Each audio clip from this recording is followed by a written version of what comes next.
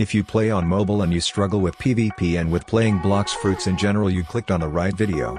Here I will show you some tips and tricks that should definitely improve your skills so make sure to watch till the end. Today's shoutouts go to these guys. If you want a shoutout in the next video just leave a like and tell me in the comments what device you play Blox Fruits on. So firstly we have to prepare your phone for the game before you even enter it, so, Make sure to clear all your opened apps especially if you have low amount of RAM, I would say less than 4GB but clean it anyways it's quick and easy, this will ensure your phone is focused on processing only Roblox and no other apps. Next, since you're probably going to PvP one of the worst things that can happen is you getting a notification mid-fight, and if you have small display it can ruin your whole fight and you're screwed. So, make sure to disable notifications before you enter Blox Fruits if you want no distractions.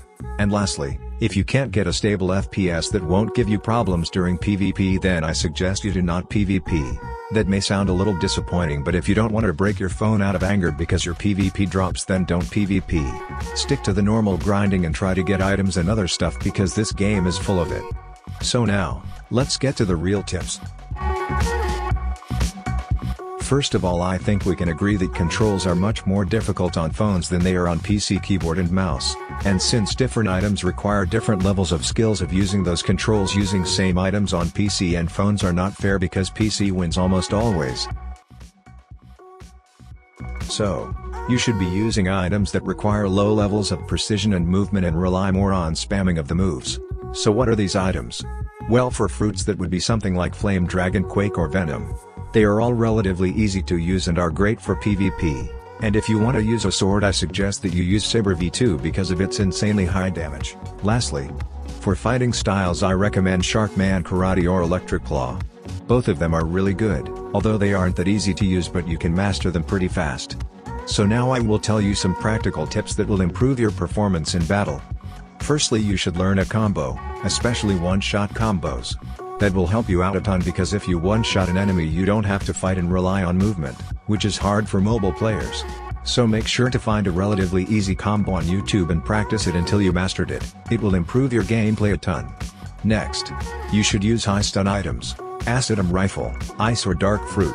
They all have high stun skills which will freeze your enemy and you can kill him easily. Now the next skills is really practical and it's don't hold your skills for too long. By holding them for too long you're giving your enemy space for choosing the move that he will hit you with and he can easily dodge your attack. So just spam them skills. Also you should be a step ahead and let your opponent waste his energy and then you attack so he can't escape and hit you back. Now, let's talk about shift lock.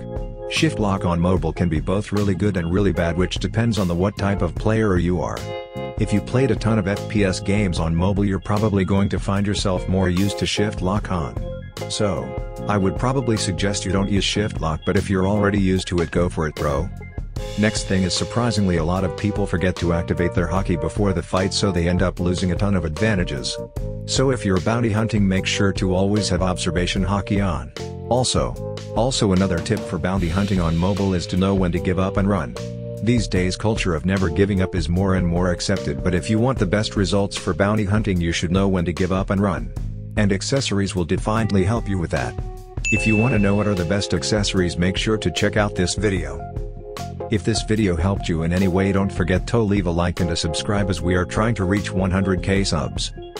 Thank you so much for watching and see you soon.